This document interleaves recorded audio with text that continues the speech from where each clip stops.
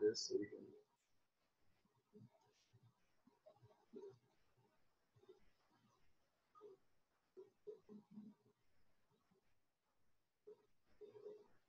So this is the powder pattern of sodium chloride, and what we want to do is we want to determine what are the two theta values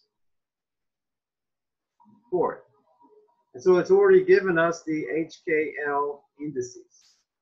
Yeah, I know it says 2 theta down here, but we don't know exactly what 2 theta value that we have for each of these indices. So what we want to do is we want to take the uh, 2 theta value, or excuse me, HKL values, and determine the 2 theta value. So it's kind of like the opposite of what we did uh, yesterday. And this is sodium chloride, and sodium chloride is a cubic system.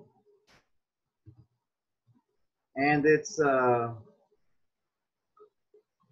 its a-axis is about 5.463 angstroms.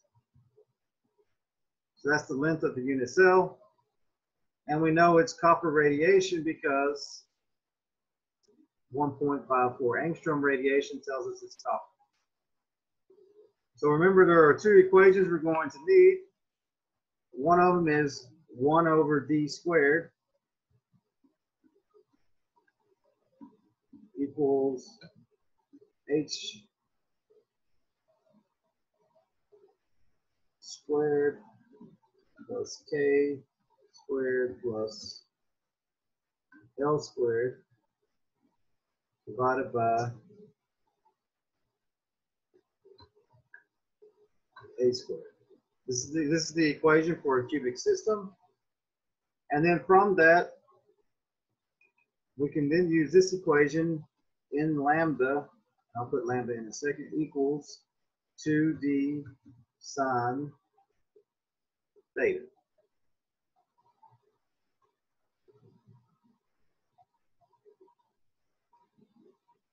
So what we want to do is determine the 2 theta. So once we find theta, we multiply it by 2 to get 2 theta. So let's do a simple one first. We'll take the 2, 0, 0 plane. So from the 2, 0, 0 plane, what we're going to find is we're going to find the d spacing. Because if we know the d, and we know already know lambda, and we know n is default 1, we can find the theta value. So that's our first step. We want to calculate what is the D value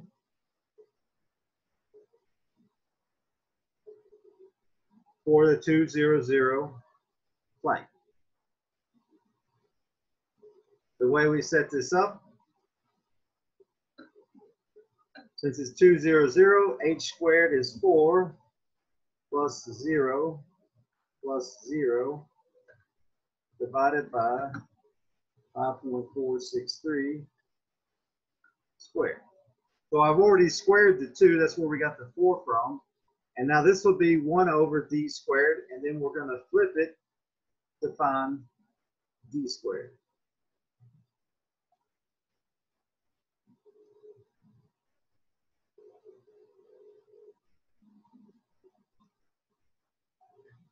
Let me get my calculator out.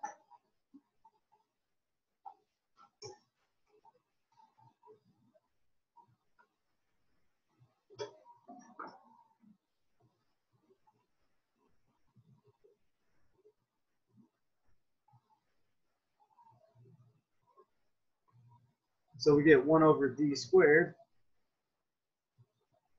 equals 0 0.13403. Now we're going to take the inverse to get d squared.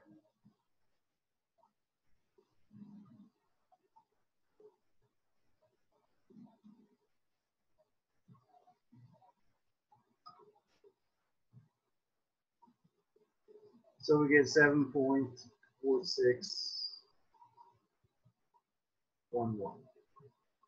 So this is d squared. Then we got to find d by taking the square root. We get 2.7 seven three two. So now that we know D, we can solve for sine, or we can solve for theta. Because again, n, in the Bragg's law, n is always one. We discussed this very early on because of, of first degree, uh, uh, for example, 200 is the same thing as a second degree 100. So there's no, there's no need for more than the first degree reflections because they're all equivalent to the second and third, the second and third reflections as well. So n is always set to 1. So we have 1 times 1.54 equals 2, 2.732 sine theta.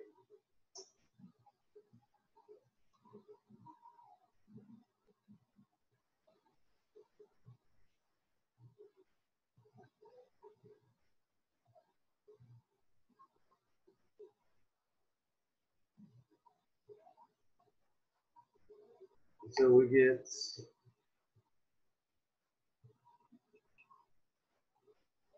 zero point two eight one eight equals sine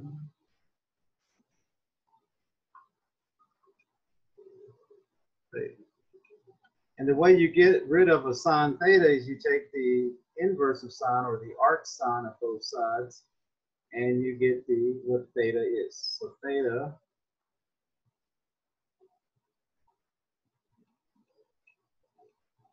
again it would be the inverse of sine. So if you're using a calculator, just hit inverse or no second sine that gives you the inverse of it. And I get it to be 16.37. Okay, right here. 16.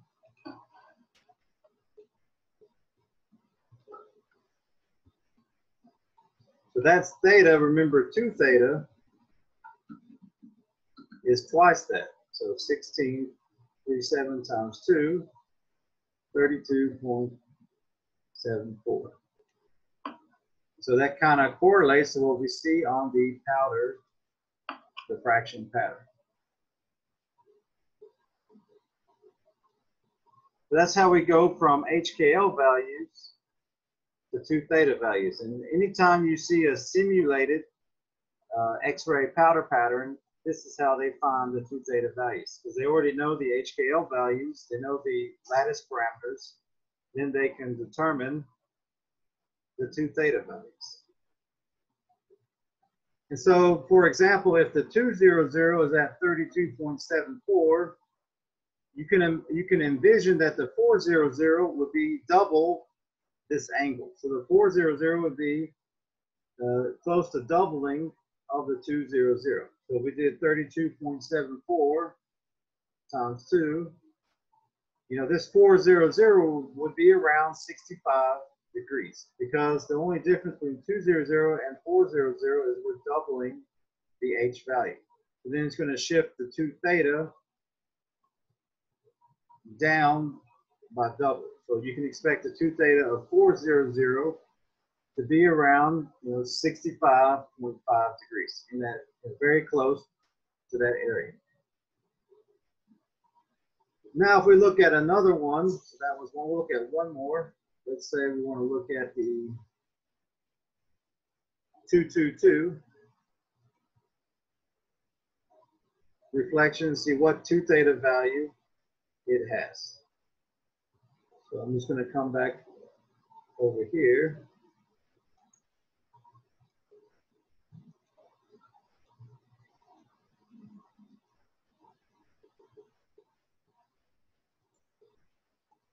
So we want to look at the 222 reflection. What is the 2 theta value? So when we set up our equation, so since it's 222, we're going to square each two. There's going to be 4 plus 4 plus 4.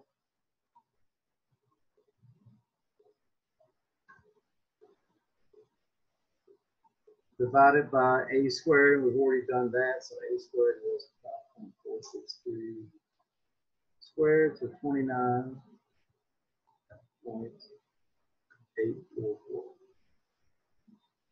Now we can find out what 1 over d squared is. 0.402.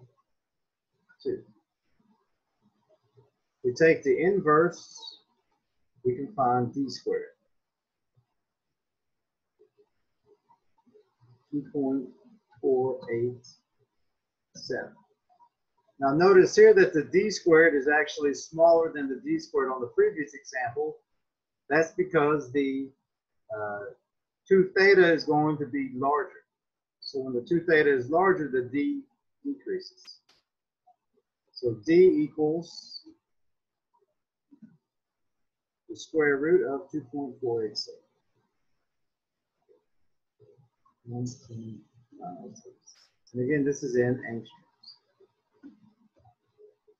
So this is the D spacing for the 222 reflection point. Now we want to set up, we know that in lambda equals 2d sine theta.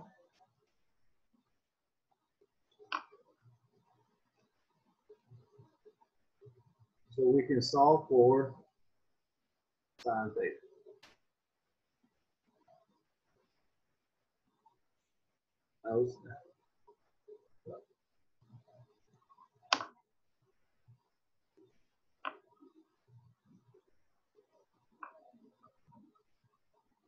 In lambda equals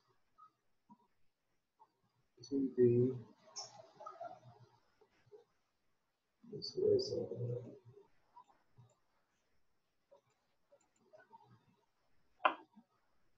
so again n is 1 lambda is 1.54 2 times d spacing is 1.577 sine theta.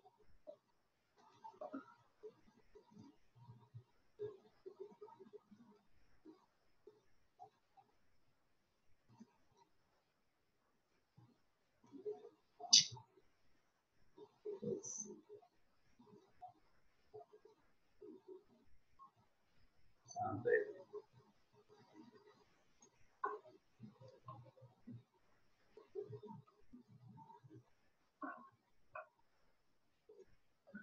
I just have to leave that theta there. So now we get that sine theta.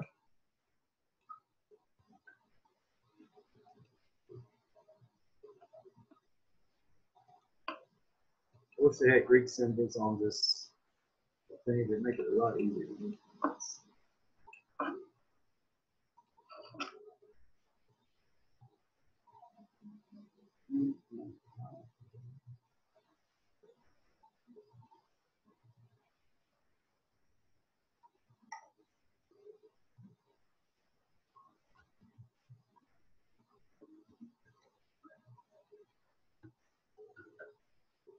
Now we get what sine theta equals. Now we can determine what theta is by taking the inverse of sine. We get is 29.22. And then 2 theta would be twice that, which would be 2 times 58.44. And you see that from the diffraction pattern, it's around 58 degrees theta. Again, I just wanted to show you how you go from HKL values to 2 theta values uh, for powder diffraction patterns. Any questions about this before we uh, conclude today's lecture?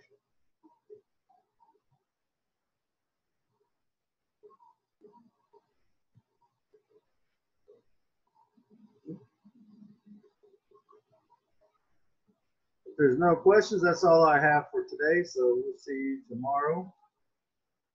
Uh, so have a good day.